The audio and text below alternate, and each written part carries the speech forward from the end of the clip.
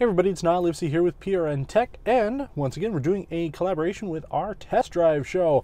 Today, we're in the back of the 2018 Chrysler Pacifica Limited, and it does have this optional rear entertainment system. So we're going to cut right to the chase. I'm not going to go into a whole bunch of detail here. We're going to see if we can plug in our Xbox One S into the rear entertainment system back here. We tried this on the Navigator.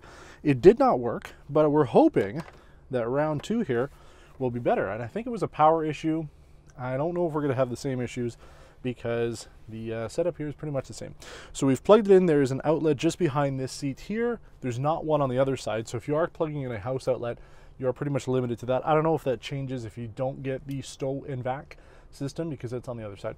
So we've got that plugged in. There is HDMI on the front of these monitors here. So we're going to switch this over and it's quite easy. It's a touchscreen here. So we're going to put in HDMI 2 because that's where we're going to be connecting it to. And then we're going to switch it over here, HDMI 2 on the other screen where the other camera is set up. And we're going to do HDMI out to TV. And we're going to hope that it actually works this time.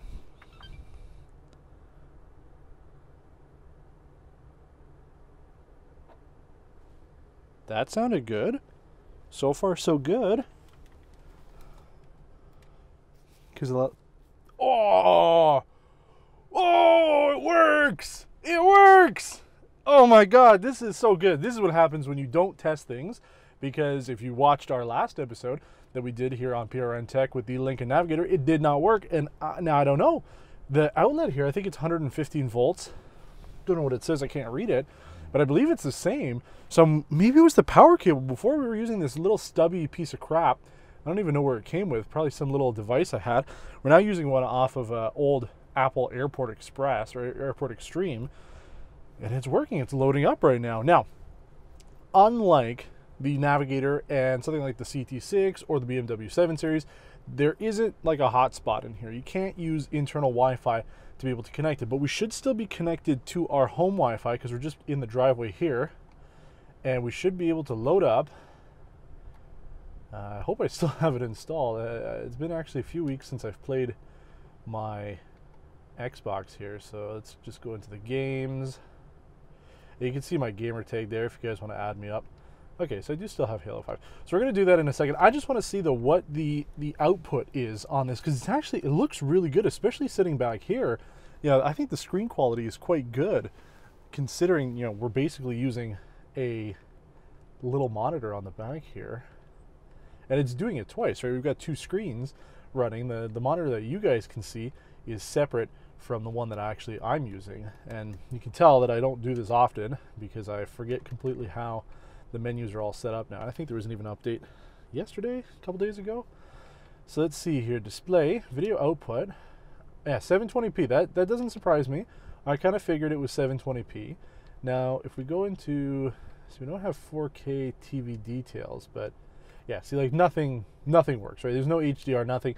These are just basic screens back here, but it works. I'm really impressed. So now let's go into Halo 5.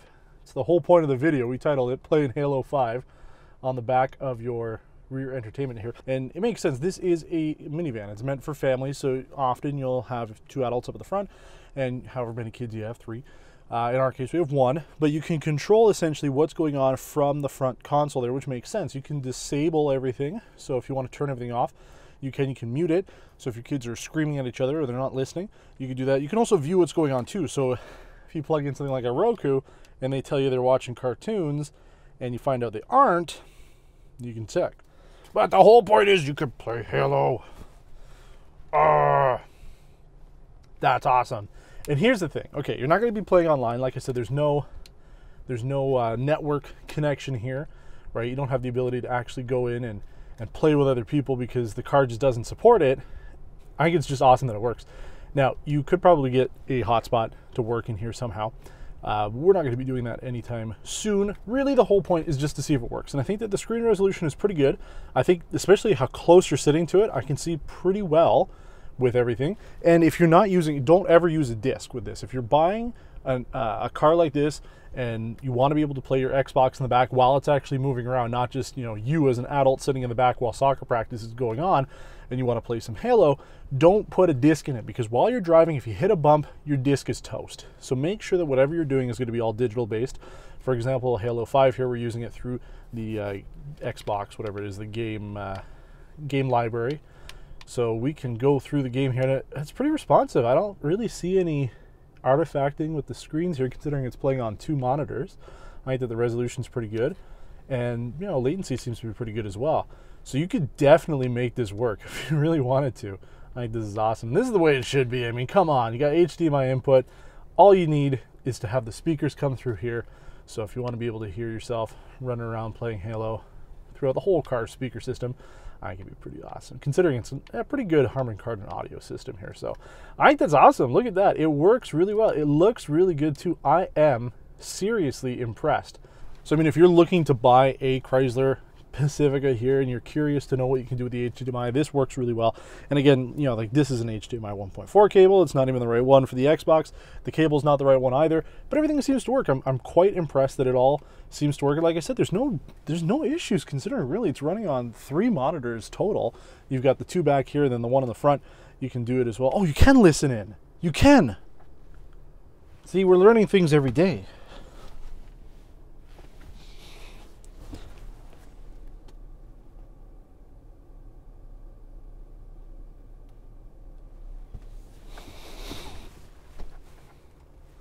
All right. Oh, buddy. Oh, dude. Okay, it, you can hear little issues with it. It's not perfect. If you're planning to use this, just kind of, obviously, not as your main gaming setup, then I think it works pretty well. Man, that's cool. Stay behind me. That's awesome. I'm not going to play too much of it because obviously it's going to be boring just to watch me playing Halo 5 here. But you can see that it works, and it's it's not it's not the worst. I'm actually really impressed. Okay, I had to take a little bit of a learning curve to figure out how the front screens work, but that's the whole point of this. And you know, very few people buy a car, go through the owner's manual and figure it all out. And even if you do, you're not going to remember all the stuff in here. So I think it's good to be able to play through it, figure out how it all works. And as you saw in this case, not only can we listen to it, all the speakers here in the car are set up off these screens back here, but you can also view what's going on too. Now, I don't think you could probably do that while you're driving, but we could try it down the road. I'll put a, a little note in our description here. So if you're curious to see if it works while we're driving along, we'll play it not with the HDMI setup here, but with the Blu-ray disc that's in the front there. But this works. This 100%, everything works. It sounds a little off, but on the headphones it sounded much better because you are thinking about it. There's an Xbox here, it's going into the HDMI, which isn't really the right cable. It's going into the back of this system here, and then it's being fed basically to do different screens, and then it's being fed to the front. So obviously you're gonna lose some level of quality throughout the way, but it works, and I think that's so cool. You can really if you can be gaming on the go. That's awesome. So thanks for watching this video. This is a success, much happier than when we did the Navigator last week, so I'm happy about that. If you're interested in doing some stuff with us here, then subscribe to the channel. We're trying to get more tech stuff going on here. I know that we're significantly smaller than what we have going on on the main Perpetual Radio Networks channel, but I think that it's a good move for us to be able to split it off so we can do some things that are much different here. I think it's going to be a much more casual show that we're going to be doing here with PRN Tech, and I'm really excited about it because I love doing the car stuff, but you know, if you've watched our behind the scenes, you'll know that a vehicle like this takes me probably eight hours of filming and then all the editing and putting it all together takes a lot of time. With a lot of the tech stuff like this, I threw all the equipment in here. It took me a little bit to set it up. We're good to go. The video is done. So it's a little quicker for us to do things like this, and I enjoy doing it as well because I love this tech stuff. So please subscribe if you haven't done so already. Make sure you hit up our Perpetual Radio Networks channel as well to see the full review of this 2018 Chrysler Pacifica Limited and whatever else we're doing there on test drive. And also, don't forget to leave your comment below with your Instagram or Twitter handle and your Xbox Live gamer tag if you want to add me up. I will add you on my feed so I can get more content both on Instagram and Twitter, and maybe we can play some Halo 5 together on the back of these screens. So until next time, thanks for watching, and take care.